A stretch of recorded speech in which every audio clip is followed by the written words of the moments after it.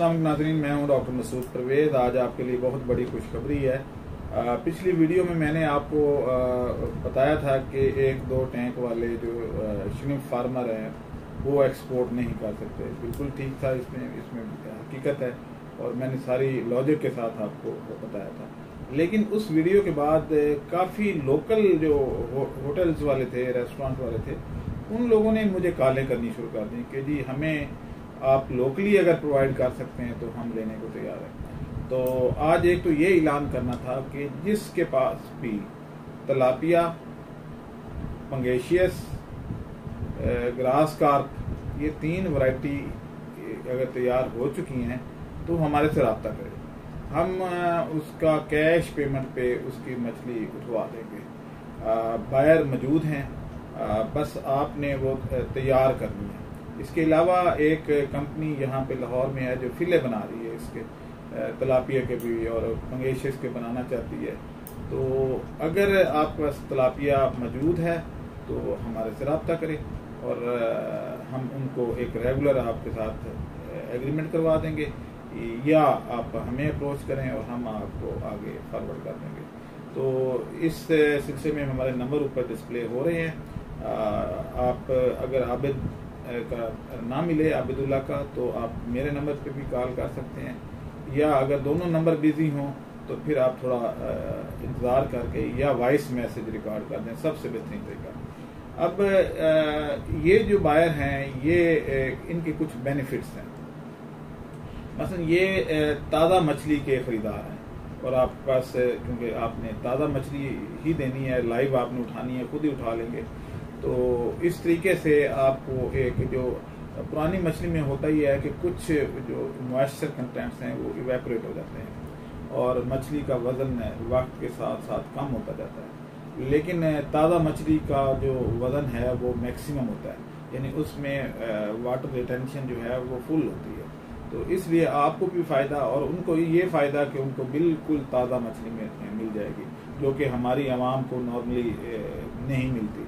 जो स्टॉल लगे होते हैं दरियाओं पे, इधर उधर, वो चार चार, पाँच पाँच इवन पंद्रह पंद्रह दिन पुरानी मछली इस्तेमाल कर रहे होते हैं और आपको फरोख्त कर रहे होते हैं। हर बंदे को मछली की ताजगी की सिम्टम्स का नहीं पता। यानी वो कितनी ताज़ा है, हर बंदा उसको नहीं पहचान सकता। आपने खुद नोट किया होगा कि कुछ मछलियों में नमक बहुत ज़्यादा डाल देते हैं। कहते जी, गलती से डल गया। वो गलती से नहीं डलता। वो इसलिए डाला जाता है कि मछली जब बहुत पुरानी हो जाती है तो उसके अंदर कुछ स्मेल पैदा हो जाती है। तो नमक से वो उस बैक्टीरिया को किल करते हैं जो अंदर उसके गोश्त को खराब कर चुका है, ये कर रहा है। तो इसलिए जब भी कभी आप फ्राई करवाएँ तो जो पुरानी मछलियाँ जो पहले चल रही थी तो उसमें अगर नमक ज़्यादा है तो आप समझ लें कि इसमें ये मछली पुरानी है और इसका गोश्त जो है वो गल छट रहा था। अब जो बायोफ्लाक फार्मर हैं, इनकी मछली तो पुरानी होगी नहीं। ज़ाहिर वो ज़िंदा पकड़ी जानी और फॉरन होटल्स वालों ने ले लेनी तो लाहौर के कोई चार पाँच बड़े होटल्स ने मेरे से रबता किया है और कुछ जो फ़िश फ्राइंग वाले हैं, उन्होंने रबता किया है।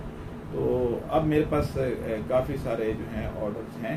यानी ये मनों में नहीं है, ये तकरीबन एक टन डेली चाहिए मछली।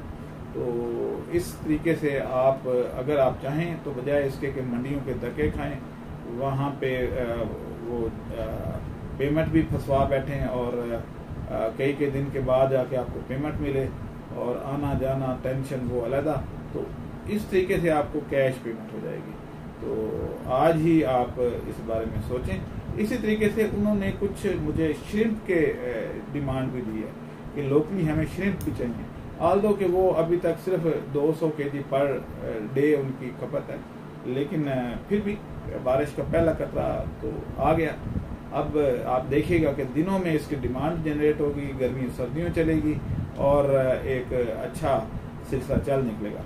अब हमने क्योंकि इसमें पहला जो स्टेप था वो मैंने ही लिया था कि मैंने शादी हाल वालों को इनवाइट किया। उनको अपने ऑफ़िस बुलवाया, उनको ये कहा कि जनाब, आप मेन्यू में चिकन अबलीक फ़िश रखें। तो जिसका दिल करे वो फ़िश खा लेगा, जिसका दिल करे चिकन खाए आप फ़िश लिखते ही नहीं है। तो अब खैर वो उस पर कन्विंस हो गए हैं और अनकरीब शादी हालों की डिमांड जब निकलेगी तो मेरा ये ख्याल है कि अच्छा ये सारे बायोफ्लाक के लिए नहीं है। अगर कोई तालाब वाला भी है तो वो भी मेरे लिए इक्वली यानी फ़िश फार्मर तो वो भी है तो वो भी मेरे से रबता कर सकता है। वो भी अपनी मछली मेरे, मुझे ऑफ़र कर सकता है कि जी इतनी है, आप मेरे से खरीद सकते हैं। तो पहले जो है पहले स्टेप में हम गुजरावाला डिवीज़न और लाहौर और सरगोदा, फैसलाबाद, ये चार डिवीज़न में शुरू कर रहे हैं बाइंग और उनका लाइजन बना रहे हैं। तो उसके बाद जो है वो इनशाला हम मुल्तान डिवीज़न बहावलपुर और पिंडी डिवीज़न और ये सारे इनको भी कवर करेंगे।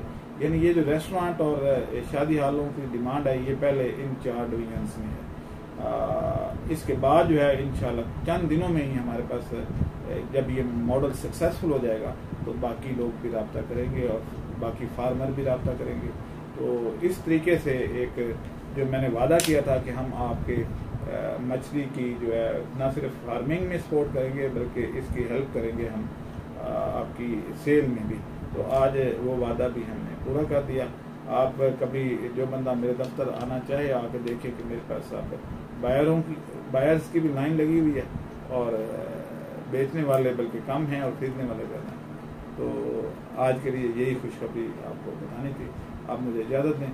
अल्लाह हाफिज़। हमारे चैनल को सब्सक्राइब करें और साथ में बेल आइकन को भी दबा दें, ताकि हमारी हर नई आने वाली वीडियो आप तक बासानी पहुँच सके।